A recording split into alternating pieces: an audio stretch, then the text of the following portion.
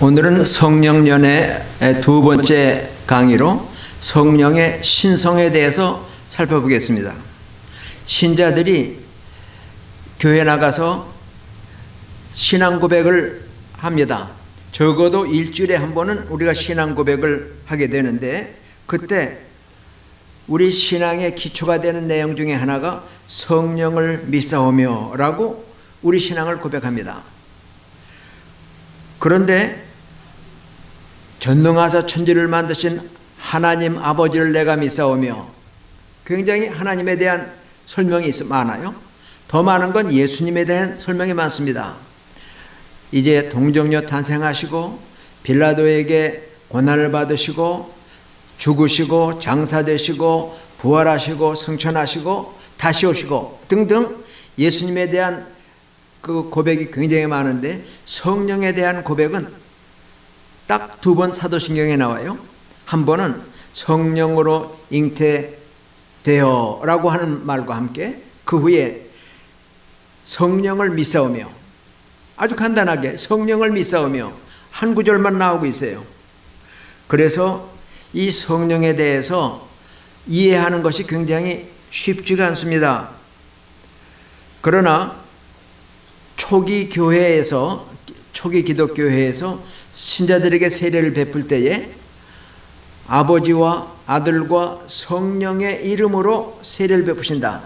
다시 말해서 성부 성자와 함께 성령은 신성을 가지신 분인 것을 그 세례 의식 속에서 성부와 성자와 성령의 이름으로 세례를 주는 것에서 우리는 어 성령의 신성을 발견할 수가 있습니다.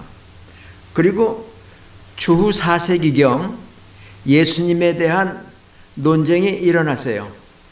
예수님이 인간의 몸에서 태어나셨는데 그분이 과연 하나님이시냐? 마태 어, 요한복음 1장 14절에 보면 말씀이 육신이 되어 우리 가운데 거하셨다. 아버지의 독생자의 영광이 그 안에 가득했다라고 가, 가르치고 있는데 하나님이 하나님의 아들이 인간의 몸을 입고 세상에 오셨으면 그분은 하나님이시냐 아니면 인간이시냐 아니면 인간도 하나님도 아닌 중간 단계의 혼합체냐 이런 문제가 주 4세기경 교회에서 신학 논쟁으로 복잡한 일을 일으켰습니다. 아리우스라고 하는 사람이 예수님은 하나님은 아니시고 하나님과 비슷한 성품을 가지신 분이다. 그러므로 우리가 예수님을 하나님처럼 공경하는 것도 괜찮지만은 그러나 예수님은 성부 하나님과 같은 분이 아니라고 하는 유질론 like substance 하나님과 비슷하다 하는 그런 그 반기독적인 반그리스도적인 그러한 그 문제를 일으켰을 때 325년에 니케아에서 그 교부들이 모여서 이 문제를 논의하고 콘스탄틴 대제 로마를 통일한 그 로마 황제의 그 경비로 모인 그 어, 니케아 회의에서 예수님인 우리가 지금 외우고 있는 것처럼 하나님의 독생자고 또 동정녀의 몸에서 태어나셨고 아버지와 동질이신 것을 그러면서 동시에 인간이신 것을 확인하게 됐습니다. 그래서 God man 신인 예수님은 하나님과 동시에 인간이다. 완전한 하나님이시면서 완전한 인간이라고 하는 것을 우리가 기독론을 공부했을 때 이미 설명을 드렸습니다. 그런데 성령께서 성부 하나님, 성자 예수님처럼 이제 완전한 하나님이시냐 하는 문제에 대해서 논의가 이루어집니다. 이때 아리우스는 예수님은 최초의 피조물이고 또 성령은 예수님이 창조하신 피조물이다. 그렇게 얘기를 해요. 그러니까 영원전부터 계시던 성부 하나님과는 다른 예수님은 하나님의 최초의 피조물이고 성령은 예수님께서 창조하신 피조물이라고 주장을 하고 있는데 참 성령에 대해서 사도신경에서도 딱 한마디로 성령을 믿사오며 했기 때문에 그분이 어떤 분인지 논의하는 게 쉽지가 않습니다. 그래서 어떤 분은 성령에 대해서는 논의하지 않는 게 오히려 좋다라고 얘기를 하지만 우리가 삼위 하나님을 믿는 이상 성부 성자 성령을 믿는 이상 성령은 누구시냐 그분이 하나님이신 것을 분명히 알아야 될 겁니다. 그런데 어떤 신학자는 성령을 힘이다 능력이다 그래요. 예수님께서도 너희가 성령을 선물로 받으린데 아버지께서 너에게 성령을 보내실 텐데 성령이 너에게 임하시면 너희가 능력을 받는다 그랬어요. 너희가 권능을 받는다 그랬어요. 그러니까 성령 이퀄 권능. 성령은 힘이다. 성령은 세력이다. 성령은 능력이라고 오해하는 사람들이 있어요.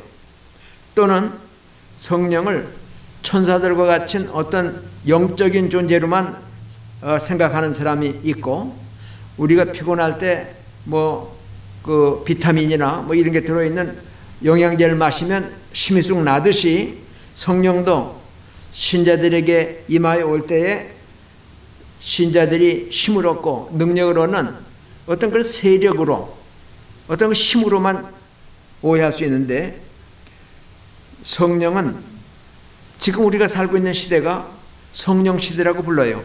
예수님 승천하시고 열흘 만에 성령이 땅에 오셨습니다. 그 이전에 구약 시대에도 성령이 역사하셨어요. 창조하실 때에 역사하셨을 뿐만 아니라 이제 다니엘에게도 또 요셉에게도 하나님의 신이 충만한 사람이라고 하는 말을 기록할 정도로 성령께서 역사하셨는데 오순절 날에는 때때로 역사하시는 성령이 이 땅에 임재하신 거예요. 그래서 오순절은 성령의 임재식이다. 성령이 이 땅에 오신 그리고 성령이 머무시는 그러한 시대다 그래서 예수님 오기 전 시대를 성부 시대, 예수님 나셔서 성천하 시대까지를 성자 시대, 그리고 성령이 오신 이후를 교회 시대라고도 부르지만은 성령 시대라고 부르고 있습니다. 그런데 이 성령 시대에 살고 있으면서도 성령을 어떻게 설명할까?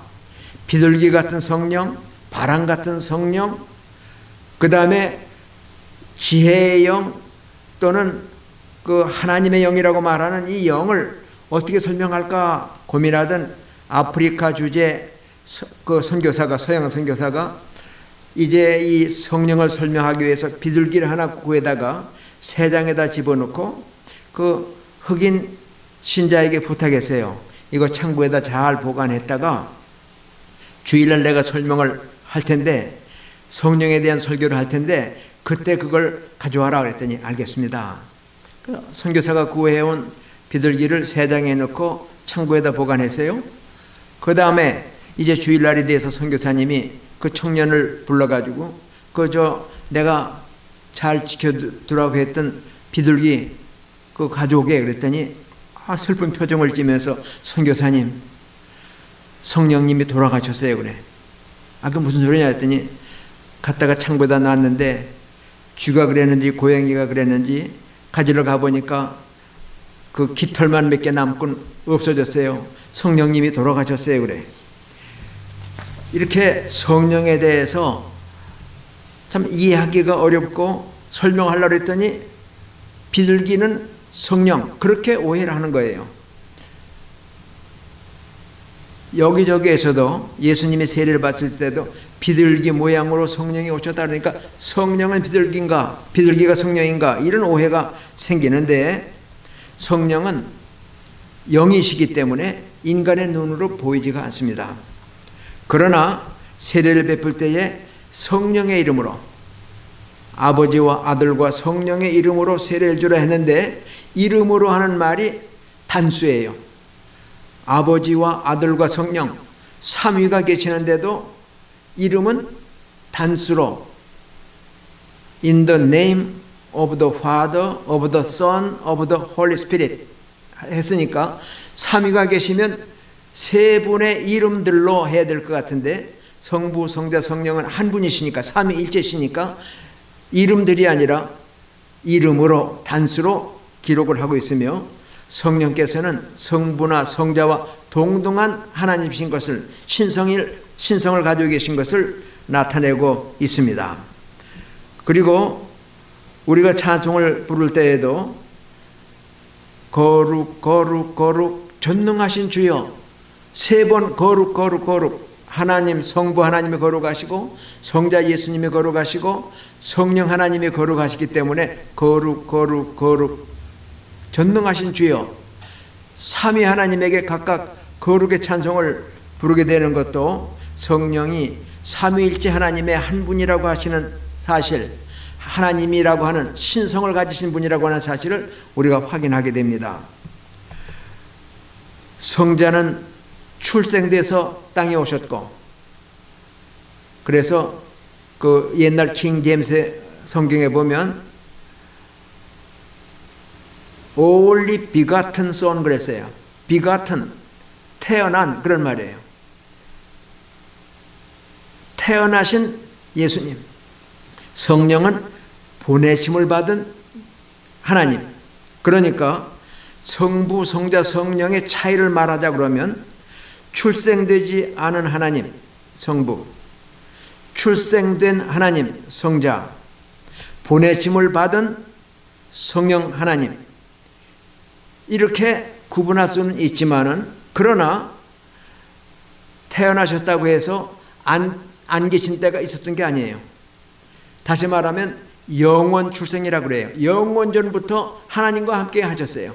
우리가 삼위일체를 공부하면서도 말씀을 드린 적이 있는데 샘이 있으면서 동시에 물이 흘러가듯이 성부 하나님이 계시면서 동시에 성자 예수님이 계셨고 성령 하나님도 동시에 보냄을 받으신 분이지만 같이 영원 전부터 함께 하셨고 능력이 동일하시고 그리고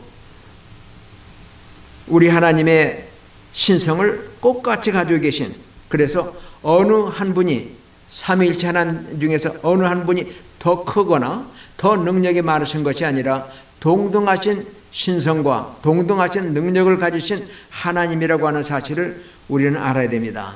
이런 의미에서 어거스틴은 동질이라는 말을 썼어요. 헬라 말로 쓰면 호모 우시아란 말인데 영어로 same substance 같은 질이란 말이에요. 동질 성부나 성자나 성령이나 동질 권능이나 또는 영원전부터 존재하고 계신 영원성이나 그 모든 점에 있어서 동질이다. 호모우시아 이게 바로 삼위일체 논쟁에서 굉장히 중요한 단어예요. 성부도 성자도 성령도 동등하신 하나님이라고 하는 사실. 그래서 이 세 인격은 삼위일체 하나님 어떤 분이 더 뛰어나고 어떤 분이 더 낮은 누가 더 복종을 받아야 되고 이런 종속적인 의미가 아니란 얘기입니다. 그러나 어거스틴이 고백한 대로 인간의 언어는 절대적인 진리, 하나님에 대해서 설명하기에 너무나 모자르다. 그래서 어느 만큼 머릿속으로는 이해가 되지만 인간의 말로 표현하려고 하다 보니까 굉장히 쉽지가 않아요. 그렇다고 해서 삼위일체나 하나님에 대해서 말하지 않는 것보다는 불완전한 언어지만 그것으로 설명하는 것이 낫기 때문에 설명을 한다고 얘기를 하고 있습니다. 다시 말씀드리면 성부 하나님, 성자 예수님, 성령 하나님은 동등한 신성을 가지신 동일한 성품을 가지셨을 뿐만 아니라 동일한 능력을 가지신 동질의 호모오시아의 신성을 가지신 하나님이라고 하는 사실을 깨닫고 삼위 하나님 앞에 우리는 감사와 찬송과 존귀와 영광을 세세무홍토록 돌려야 할 것입니다. 감사합니다.